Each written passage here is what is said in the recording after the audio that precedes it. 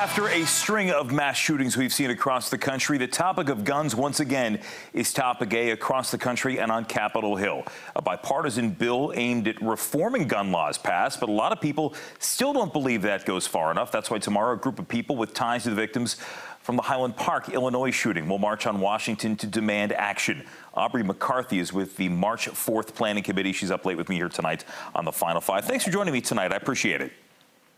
Pleasure to be here. Thank you so much for having me. Why is this important for you to be part of this tomorrow? Why isn't it important? Um, it has been a long day. We have been united with members from mass shootings outside of Highland Park, the most recent one that is near and dear to me in the Chicagoland suburbs.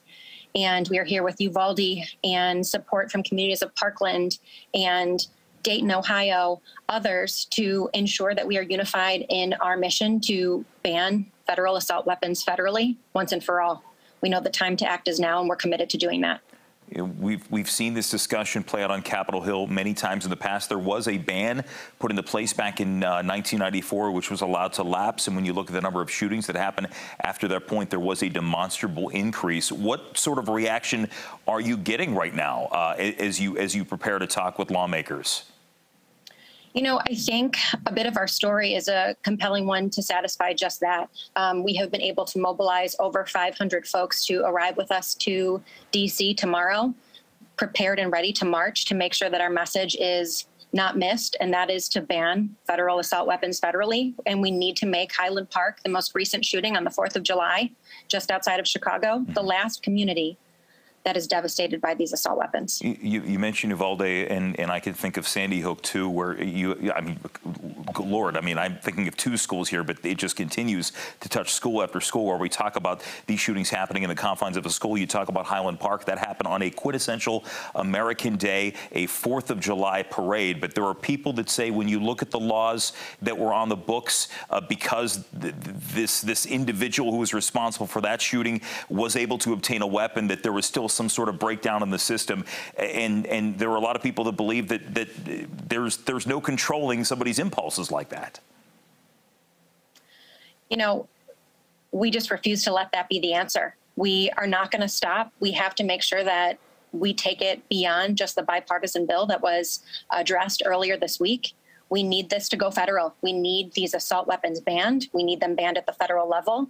We can't have these weapons of mass destruction on the streets and accessible to those who shouldn't have them.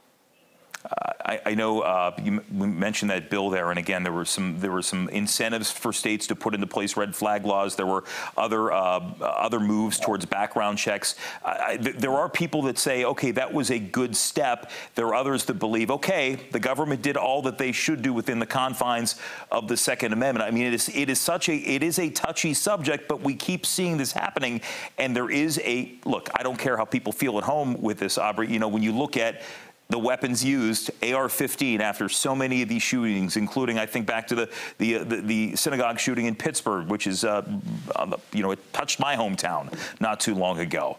Um, but this is a conversation, you know, that regardless of the human toll and regardless of the stories and, and the lives that have been torn apart, there are people that say, "Too bad." It's it's second you're, you're impinging on people's rights to own firearms, especially if they follow the law. It can't be too bad children are dying. Mothers, wives, sisters, aunts are dying, mm-hmm. uncles, cousins, nephews. It simply can't be the answer. And so we will not stop this fight I, I hear you in that there's certainly a lot of opinions, and I am no expert to unpack what everyone's thought behind their rationale is. But sure. to put our hands up and say that's it simply isn't going to work. It's not going to work for us, and we're going to continue to unite with all of the communities that are committed to this effort to make sure that it's banned at the federal level. Let's talk about tomorrow. What do you plan on doing? What, what, what are the actions and what, what are the events that uh, that you and your uh, you and your groups plan for tomorrow? Sure. So, for those not familiar with March 4th, it is a grassroots movement. It began with our founder, Kitty Brandtner, who just sent a social media post uh, via direct message uh, via her social network out to ask who's with me. And that became over 500 community volunteers, friends, family, you name it, in six days. So, uh, to say that we are learning as we go and adding to the agenda with rigor is an understatement. But I do know that we are showing up from 11 to 2, lot 7. Um, I will ensure that that is continuing to be accurate, but lot seven just outside the hill to make sure that we are heard loudly and that our tears are turned into power, our anger and anguish is used for action, and we are able to make sure that our message is not lost and that Highland Park is the last community devastated by this. You know, I, I know you, you made this trek out to D.C. I'm just curious uh, on, on the local level uh, what the response has been from, from people who represent uh, Highland Park, from, from lawmakers from Illinois. What has their take been on, on your pleas?